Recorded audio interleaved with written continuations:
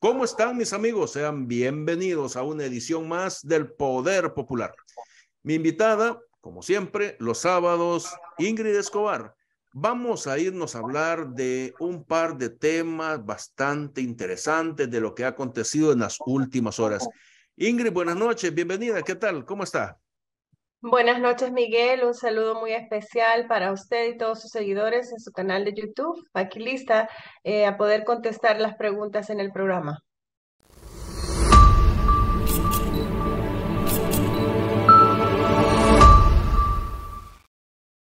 Perfecto.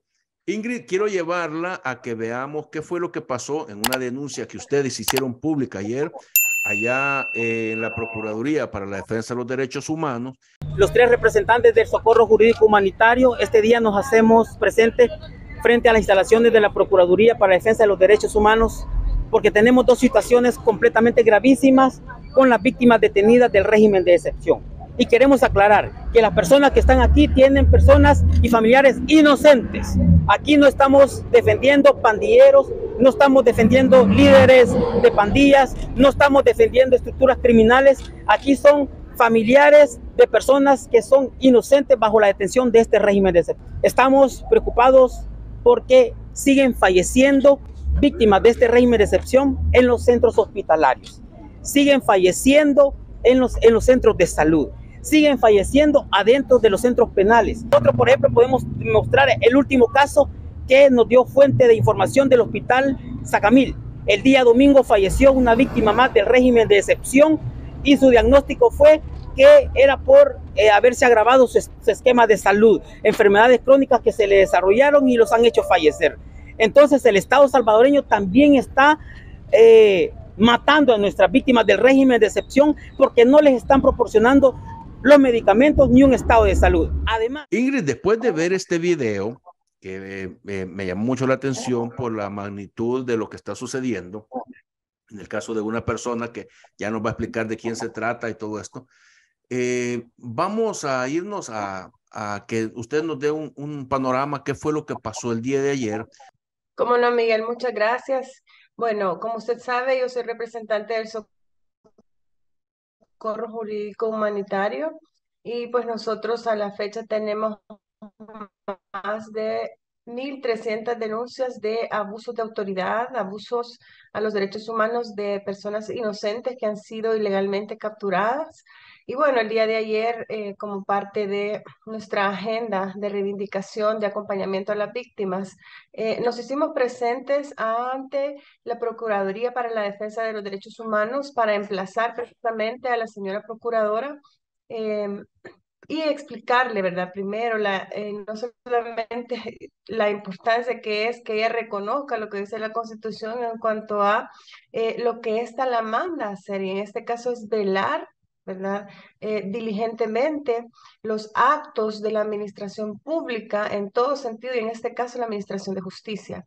Eh, nuestra conferencia de prensa dirigida a medios nacionales e internacionales, la cual tuvo una excelente eh, respuesta y recepción de parte de estos, trataba acerca de las enfermedades graves que las personas inocentes están adquiriendo dentro de los centros penales, pero además los fallecimientos eh, por negligencia estatal o con dolo de parte de algunas de las personas activas y condenadas dentro de los centros penales eh, en contra de personas inocentes, ¿verdad? Que ya llevamos, eh, Miguel, y le voy a hacer una cuenta eh, que de acuerdo a nuestros datos eh, confirmados eh, nosotros tenemos.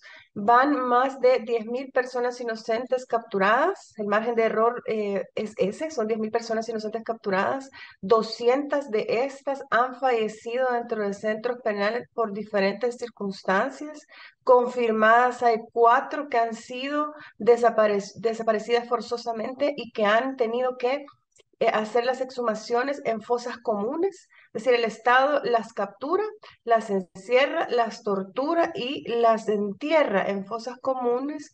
Y bueno, ¿cómo no van a estar los familiares de los inocentes privados de libertad preocupados por precisamente eh, la integridad física de estos? Y específicamente el día de ayer nosotros íbamos por un caso del señor José eh, Alfonso Sandoval eh, García, un señor de 67 años, agricultor, un hombre trabajador que padece de tres enfermedades. Una es, eh, él, él estaba en el proceso de que se le pusiera un marcapasos antes de entrar a la prisión, estaba justo en ese proceso. Tiene presión arterial alta y desarrollo de diabetes. Tiene a esta fecha nueve meses de haber sido capturado la Fiscalía General de la República no tiene absolutamente ninguna prueba contra él, tanto así que tuvo que pedir otros seis meses más para poder seguir investigando porque no tenían absolutamente nada. Y extraoficialmente algunos de los familiares han conocido que muy probablemente don José Alfonso esté fallecido. Entonces nosotros necesitamos, por ser este uno de nuestros casos, una respuesta de parte de la autoridad competente.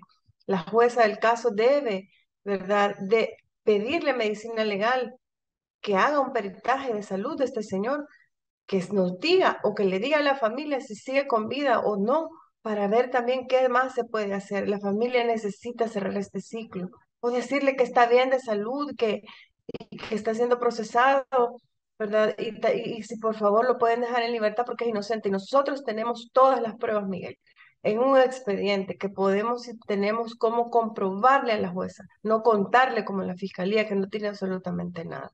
Así que ayer, Miguel, esa fue eh, la razón de por qué nos presentamos, muy agradecidos con los medios nacionales que dieron cobertura, los medios internacionales de igual manera, estuvo en Sudamérica a través de Telesur, la DW en Europa, y así eh, la CNN también lo, reportó, los medios aquí nacionales también, la prensa nacional, medios alternativos y usted, por supuesto, Miguel, su canal que estaba pues también muy pendiente. Así que muchas gracias y en nombre de las víctimas inocentes del régimen de excepción, eh, agradecer también a las familias que se hicieron presentes con los carteles de, de, en este caso, los inocentes capturados enfermos y que estaban pidiéndole nada más a la, a la señora procuradora mediar en estos casos. Ellos quieren saber y tener una prueba de que su familiar está vivo dentro de los centros penales. Miguel. Ingrid, en este caso la procuradora Raquel Caballero ha manifestado en este tipo de situaciones que se están conociendo constantemente, hoy ya van, estamos hablando de eh, más de 150, casi 200 personas fallecidas. ¿Qué ha dicho en este momento la procuradora, porque se le ha visto bastante ausente últimamente, ha estado pendiente de otros casos que no tienen nada que ver con esto de los fallecidos en centros penales por el régimen de excepción. Tampoco se le ha visto dar su postura en el caso de, por ejemplo, de los capturados bajo el régimen de excepción, que se ha, eh, el presidente inclusive ha dicho de que han sido liberado más de 3.000 personas. ¿Qué, qué, qué ha dicho la, en este caso la procuradora en este panorama que nos está presentando justo en este momento también, Ingrid? No han dicho absolutamente nada.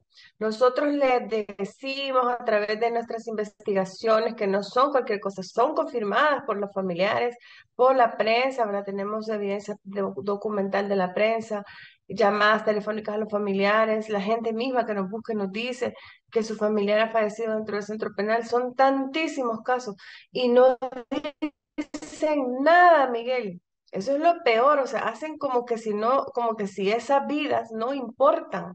Y sí que tienen que importar, ¿saben por qué? Porque esas 200 vidas en ningún momento se les ha comprobado que sean criminales. Y en nuestro análisis, porque tenemos criminólogos dentro de nuestra organización, no hay pero ni tres, oigan bien, porque creo que todavía estamos ahí eh, todavía dudando, pero ni tres personas perfiladas como pandilleros. La gran mayoría, o sea, el 98% de esa gente es inocente completamente y no tuvo la oportunidad de un juicio justo, de una defensa técnica, de la presunción de inocencia, de probar que no son delincuentes. No tuvieron esa oportunidad porque en ese proceso murieron en centros penales, algunos vapuleados, torturados, ahorcados, violados sexualmente, algunos por negligencia médica, como el caso de nuestro compañero José Leonidas Bonillo, un sindicalista, que yo espero que un día se haga justicia pero no dicen nada, Miguel. Y eso es lo que queremos, que se pronuncien las autoridades competentes, y en este caso derechos humanos es una de ellas. Ingrid, en el caso de José Sandoval, ¿qué ha dicho también la procuradora? Fíjese que eh, estas cosas se las tengo que eh, preguntar a ustedes porque ustedes han estado más cerca de todo esto que acontecimientos que se están suscitando. Eh, ¿Qué fue la respuesta que le dieron el día de ayer? Y también le quiero preguntar, aprovechando, ustedes están, han estado velando todo este tiempo por los inocentes. Eh, pero eh, ustedes están defendiendo pandilleros también, porque eso es importante aclararlo, Ingrid. ¿Ustedes están volviendo por los pandilleros o solo por la gente capturada inocentemente? Muchas gracias, Miguel. Eh, bueno, en principio decirle que el día de ayer nosotros después de la conferencia de prensa Afortunadamente, tuvimos la oportunidad de ser recibidos por una comisión delegada por la procuradora. Había una procuradora adjunta y otro, otra parte del equipo de la Procuraduría que realmente nos recibieron. En este caso, la Dirección de Socorro Jurídico y a representantes de cuatro víctimas, lo cual nosotros les agradecemos porque es un espacio precisamente de los que estamos buscando para hacer justicia, o por lo menos para ellos que tienen la eh, potestad constitucional de mediar logren hacerlo. Y bueno, hay varios compromisos que se han adquirido y que estamos trabajando en ello para poderles hacer llegar cierta documentación y ellos también en el marco de lo que la ley de la salud de estas personas para pedir la agiliza, que se agilice, eh, perdón, para pedir que se agilicen los procesos, ¿verdad? Que es lo que queremos y que la Procuraduría en este caso haga su papel como tal. Así que el día de ayer, por lo menos en teoría, fue eh, una muy buena acción el hecho de habernos presentado en conferencia, una muy buena recepción de parte de las autoridades eh, también. Ahora lo que necesitamos es que no solamente nos escuchen, ¿verdad? Sino que también actúen, también nos den resultados en función de eh, la justicia, ¿verdad? En función de lo que dice la Constitución, a la cual tanto la señora Procuradora para la Defensa de los Derechos Humanos como todo su equipo juraron cumplir y hacer cumplir. Así que esperamos que nos den resultados lo más pronto posible. Y no, nosotros, Socorro Jurídico Humanitario, no defendemos pandilleros. Absolutamente negamos rotundamente esas declaraciones de algunos troles lo que les podemos decir es que es el gobierno el que sí, y ya con pruebas, incluso este día salió una información muy importante de parte de las autoridades de la Administración de Justicia de Estados Unidos, donde claramente se ve que quien refugia pandilleros, quien protege los pandilleros son precisamente algunos representantes del gobierno, ¿verdad? Y desgraciadamente, pues ellos quieren hacer ver que es diferente la situación, pero no, no es así. Nosotros, Socorro Jurídico Humanitario, defendemos la causa de las víctimas inocentes del régimen de excepción y eso que quede claro y tenemos maneras de probarlo. Por eso nadie nos ha dicho nada hasta este momento. No tenemos ningún proceso de ningún tipo iniciado en contra de nuestra acción porque es justa, solidaria y humanitaria. Esta semana, hace un par de días, conocimos una en una declaración que hacía el licenciado Patricio Pineda sobre un momento de que se le quiso detener y aplicarle régimen de excepción. Me gustaría saber cuál es su postura luego de escuchar estas declaraciones que las vimos recientemente en una conferencia de prensa que daba en la noche hace dos días. Sí, realmente es muy preocupante esto que sucedió con Patricio Pineda, un experto en el tema de pensiones y quien ha estado constantemente en esta coyuntura y en este contexto tan adverso para, en este caso, las personas defensoras de derechos humanos, las personas cuadros organizadores o las personas, en este caso, representantes de ciertas estructuras que no necesariamente van en la línea gubernamental. Y bueno, ver estas declaraciones de él donde denuncia actos arbitrarios de parte de la policía porque no, primero no hace un buen procedimiento, segundo, el objetivo, según entiendo, de la policía no era él, pero al final, eh, pues a lo mejor y lo reconocieron o a lo mejor el trasfondo de esa visita era justamente amedrentarlo, intimidarlo, ¿verdad? Eh, querer detenerlo, neutralizarlo de alguna manera, cosa que ya ha pasado, realmente no me extraña, en muchos casos ha pasado, no es nada nuevo Em, ellos, es más, amenazan a la gente con, si no te pegas a lo que dice el gobierno, si no eh, cambias el discurso, te voy a echar el régimen de excepción. Claro, esta vez el compañero, ahí se equivocaron porque compañero eh, trabajador, representante de los trabajadores en este caso, en el tema de las pensiones, pues tuvo bien salir rápidamente a declarar la situación, eh, a pedir en este caso que un cese a ese, a ese acoso, ¿verdad? Y a poner en auto, digamos, en este caso, a las organizaciones eh, para estar pendientes ante cualquier hecho en contra de su integridad, en contra de su libertad y en contra del ejercicio eh, de sus derechos fundamentales, como es el caso de la libertad de expresión. Y en este caso puntual, que él es un experto en materia eh, de economía, en materia, en este caso puntual de pensiones, pues que hable de eso, eso es su tema y eso es lo que cualquier país con una democracia mínima pues se puede hacer y en este caso, amén del autoritarismo que se está queriendo consolidar eh, de la parte de la familia Bukele, que es peligroso, pero creo yo que todavía tenemos estos espacios para poder decir con libertad lo que pensamos y más si es en función de un sector profesional, como es el caso del sector de los trabajadores formales, pues hay que dejarlo, ¿verdad? Y yo exhorto en este caso a los miembros de la Policía Nacional Civil, especialmente del nivel básico, a hacer lo que dice su ley orgánica y su ley de la carrera policial, cuando hay una orden que es ilegal, lo que debe de hacer es no cumplirla, porque en el futuro van a también estar sentados frente al banquillo de los acusados, en el banquillo de los acusados frente a la justicia, y no va a haber ningún director de la policía, no va a haber ninguna familia Bukele, ningún ministro que los acompañe, ni ninguna jefatura superior defendiéndolos, ¿verdad? Y la justicia siempre, siempre hay sed de justicia de parte de un pueblo, y esa no se termina nunca. Entonces pensemos que el poder no es eterno y que, bueno, los reflexionen, no hay que cumplir una orden ilegal, ¿verdad? Así que solidaridad con Patricio Pineda eh, y pendientes de la situación, ¿verdad? De lo que pueda acontecer o pasarle a él o, a su familia.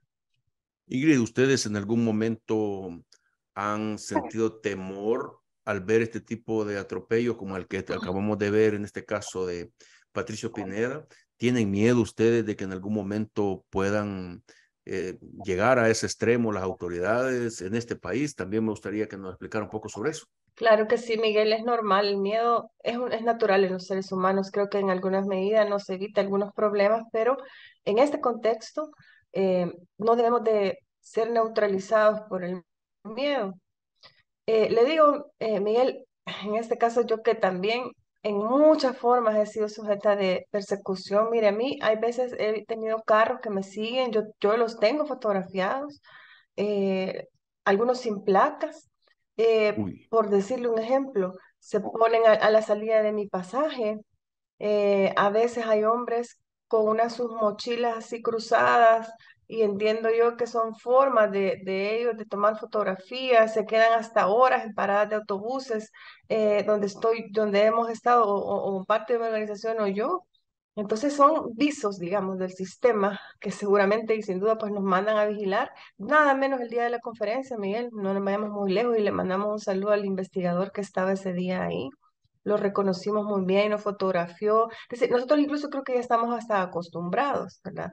Por supuesto, eh, no han llegado al punto de querernos decir, nos vamos o acompáñenos a la delegación o por el régimen de excepción. Creo que con nosotros no se atreverían. Es más, yo creo que a, a los que estamos por lo menos en la central sindical independiente, eh, ya nos han investigado, Miguel, revés y derechos si no tenemos lo más mínimo para podernos procesar por algo, pero afortunadamente y gracias a Dios nuestras familias, en el caso de, los, de las organizaciones que nosotros representamos, nos han creado con buenos principios y no tenemos nada que temer a la, a la justicia porque no cometemos delitos más que bueno, no sé si es delito eh, ejercer los derechos sindicales que la Constitución nos establece, ejercer, en este caso, la defensa de los derechos de nuestros representados, ejercer la libertad de expresión, nuestro derecho constitucional a la organización en libertad.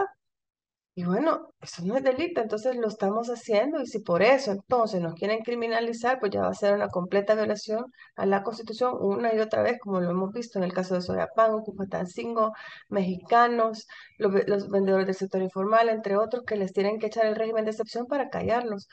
Ojalá no sea así, Miguel, pero si es así, tampoco tenemos miedo. No tenemos miedo, es decir, sabemos que estamos del lado correcto de la justicia, eh, la, historia, el tiempo nos va a dar la razón. Y bueno, adelante, sin miedo y, y pidiéndole a Dios, por supuesto, y tomando las medidas de seguridad siempre. Bueno, Ingrid, esperemos que no sea así, nada de esto que estamos preguntando acá, que no, pues no vaya a suceder nunca, que Dios nos ayude y que pues podamos sobrellevar toda esta situación, eh, sobre todo porque estamos en un año electoral, es el preámbulo de la elección del otro año, pues me imagino que esto pues se va a salir de control en algún momento. Quiero agradecerle enormemente por haber estado en este programa. Eh, quedan invitados mis amigos para vernos el próximo sábado con Ingrid Escobar hablando de estos temas que no dejan de causar preocupación y asombro en nuestra sociedad. Ingrid, fuerte abrazo para usted también desde acá, desde las instalaciones del Poder Popular. Que descanse. Muchas gracias, Miguel. Ok. Muchas gracias, Miguel. Un saludo a todos sus seguidores. Perfecto.